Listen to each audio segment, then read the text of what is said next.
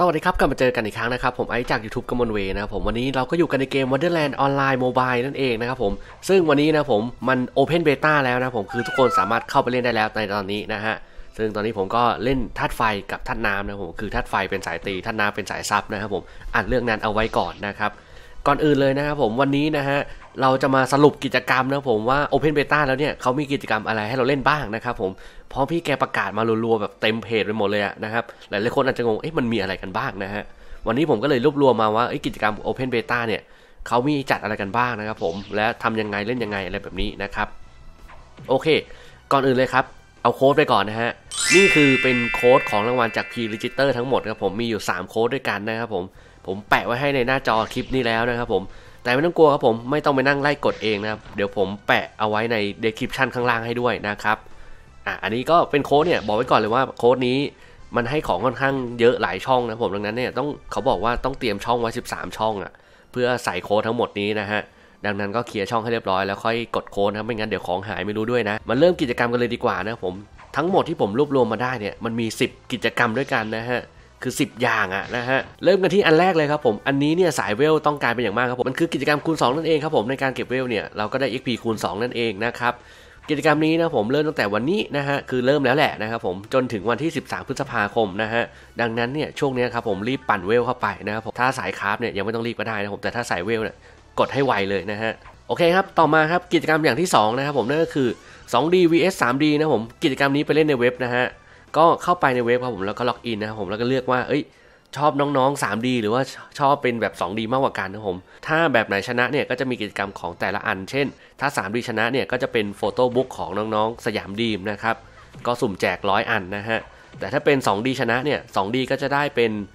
ยา HP นะครับ นี่ อันนี้อย่างเงี้ย แจกเข้าทุกคนในเซิร์ฟเวอร์เลยครับผมก็ไปลุ้นเอาแล้วกันนะผมว่าใครจะชนะนะไปโหวตกันได้ในเว็บไซต์นะครับผมโหวตได้วันละครั้งนะฮะอันนี้คือกิจกรรมที่ 2 ครับผม ต่อมาครับกิจกรรมที่ 3 ครับเอาใจสาย PVP นะผมก็คือศึกชิงเจ้ายุทธภพนะฮะกิจกรรมนี้ครับผมเมื่อครบเวลาตามที่เขากำหนดนะฮะเขาก็จะเรียงแรงมาว่า เอ้ย ใครได้สูงสุดนะผม 10 อันดับนะผมก็จะได้ยาคูณ EXP ไปนะครับผม ยาคูณ EXP นี่มีทุกชนชั้นนะคูณ 2 จนไปถึงคูณ8นะครับ ก็ไปวัดใจกันละกันว่าใครจะ PVP ได้เยอะมากน้อยแค่ไหนนะผม แต่บอกเลยว่าเข้า PVP ไปเนี่ยเจอขุนเลเวลร้อยที่มันเช่ามาทั้งนั้นแหละนะครับ ไม่มีลูก้าอะไรโผล่เห็นหรอกนะฮะ คือขุนเช่านั้นแหละนะครับผมเช่าได้ทุกคนนะฮะ กิจกรรมที่ 4 นะผมกิจกรรมที่ 4 เนี่ย เป็นกิจกรรมสุ่มลดราคาของใน Cash Shop นะครับผมของใน Cash Shop ก็คือของที่เราใช้เพชรสีเขียวซื้อนั่นแหละ มันก็จะมีสุ่มลดราคานะผม 20%นะฮะ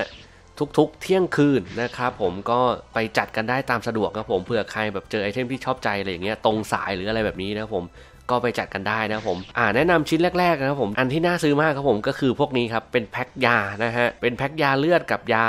SP นะครับผม หรือว่าถ้าใครคิดว่าแบบเอ้ย อันนี้มันแพงไป 22 กับ 30 มันจะดูแพงไปผมกดกล่องสุ่มนะฮะไอแพ็คยาเลือดอะมันคือขยะของกล่องสุ่มนะครับผมดังนั้นก็ไปกดกล่องสุ่มเอา เดี๋ยวมันก็ไปโดนไอพวกยาเลือดไอพวกแพ็ค SP เองนะครับ อันนี้คือวิธีการประหยัดตังค่ายาเลือดนะผมก็คือไปกดกล่องสุ่มแทนเพื่อเราจะหวังขยะนะผมถ้าได้เป็นพวกของรางวัลใหญ่ก็ช่างมันนะเนี่ยมันจะมีลดทุกวันนะครับผมแบบนี้นะครับโอเคครับกิจกรรมที่5นะครับผมบอกเลยว่าอันเนี้ย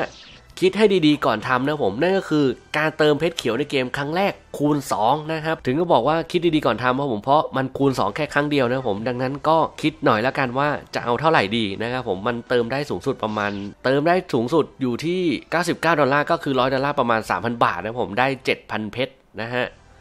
แต่มาได้ครั้งเดียวนะครับผมก็อะนั่นแหละฮะตัดสินใจกันให้ดีนะผมมันคูณ 2 แค่ครั้งเดียวนะครับในการเติมเพชรในเกมครั้งแรกนะฮะดังนั้นใครจะจัดเท่าไหร่ก็ไม่ว่ากันตามกำลังทรัพย์นะผมโชคดีแล้วกันนะฮะอันต่อไปครับผมกิจกรรมที่ 6 ครับผมเติมเพชรครั้งแรกครับผมได้ยา XP คูณ 5 อันนี้ก็คือถ้าโดนอันกิจกรรมเติมคูณ2มาแล้วยังไงก็ได้อันนี้นะผมก็เตรียมช่องตัวละครไว้ด้วยแล้วกันนะครับ ให้มันช่องเกินไว้เดี๋ยวของหายไม่รู้ด้วยนะ กิจกรรมต่อมานะผมเป็นกิจกรรมที่เติมเงินในเกมครบจำนวนที่กำหนดเนี่ยมันจะได้ยา XP มานะผมเช่นยา XP คูณ8 หรือบัตรฝึกวิชาอะไรพวกนี้นะครับผมอันนี้ก็คือเหมือนถ้าใครกดอันแรกไอกิจกรรมคูณ 2 มาเยอะ อันนี้มันจะได้โดยปริยายนะฮะ ก็เข้าไปเอาด้วยนะผมบอกเลยเวลโคตรกระฉูดอะนะครับ อะเติมเงินในเกมเข้าไปแล้วนะผมมันมีเติมเงินอีกทางนึงก็คือเติมเงินผ่านเพย์มอนะครับผมPayment เนี่ยเป็นเติมผ่านเว็บของทางตัวเกมเขานะครับ อันนี้สามารถใช้พวกบัตร TrueMoney อะไรพวกนี้เติมเข้าไปได้นะผมถ้าให้ดีนะผม เติม TrueMoney ผ่านลิงก์ของกำมเวด้านล่างนะครับผมเพื่อความเจริญเติบโตของช่องนะครับจะกราบขอบพระคุณเป็นอย่างยิ่งนะฮะโอเค กิจกรรมในเติมในเว็บก็คือเติมครั้งแรกได้ยาคูณ5นะครับผมอันนี้ก็เป็นอีกอันหนึ่งแล้วก็อีกอันหนึงก็คือทุก ๆ 100 บาทเนี่ยจะได้สุ่มไอเทมนะครับผมมันจะมีสุ่มหลายอย่าง เช่นยาคูณ 3 อย่างเงี้ยหรือว่าบัตรเข้าฝึกวิเกาะฝึกวิชานะครับผมมันจะทำให้เลเวลเราเร็วขึ้นมากนะครับผมแล้วก็ของรางวัลใหญ่เป็นสกูตเตอร์นะครับเผื่อใครอยากได้สกูตเตอร์ไปขี่ในเกมนะฮะทั้งหมดนี้ก็เป็นกิจกรรมคร่าวๆที่ผมหารวบรวมมาได้นะครับผมก็คือแบบคือมันมาหลายอันมากนะฮะหลักๆเนี่ยถ้าเป็นสายเวลธรรมดาเนี่ยคูณ 2 ดีที่สุดนะครับผม แต่ถ้าเป็นสายเติมอย่างเงี้ยพวกไอเติมครั้งแรกคูณ 2 หรือว่าเติมครั้งแรกได้ยา EXP อะไรพวกเนี้ยนะครับผมจะค่อนข้างจะชอบแบบนั้นนะฮะเติมแบบร้อยสองร้อยก็ได้นะผมให้มันได้ของนิดๆหน่อยๆอะเอามาให้ช่วยเวลตอนแรกๆให้มันสบายขึ้นนั่นแหละอ่าเกมเขาจะได้มีตังไปพัฒนาต่อนะฮะอ่าสำหรับใครที่เลเวลถึงไหนแล้วก็มาบอกด้วยนะครับผมของผมเนี่ยจำได้ว่าตอนโคเบต้าเนี่ยซัดไปแค่ถึงประมาณ 35นะครับผมตอนนี้กำลังดูอยู่นะว่าหลังจาก35ไปไหนต่อนะครับผมเหมือนจะอยู่ไม้เลื้อยกันยาวๆเลยมั้ง กะว่าถ้าคิดอะไรไม่ออกก็อยู่ไม้เลื้อยยัน40 เลยแล้วกันนะฮะ ถ้าใครมีที่อื่นแนะนำก็บอกได้นะผมเกมนี้ผมก็ไม่ได้เล่นมานานมากครับผมตอนเด็กๆก็เล่นไม่ค่อยเยอะด้วยนะฮะ ก็เลยจะงงๆหน่อยนะครับ โอเคครับ คลิปนี้ก็ไว้เท่านี้แล้วกันนะผมก็อย่าลืมกด subscribe ทุกคนเวด้วยนะครับ เวลามีคลิปใหม่ๆเนี่ยจะได้เข้าฟีด YouTube ครับสำหรับวันนี้ สวัสดีครับ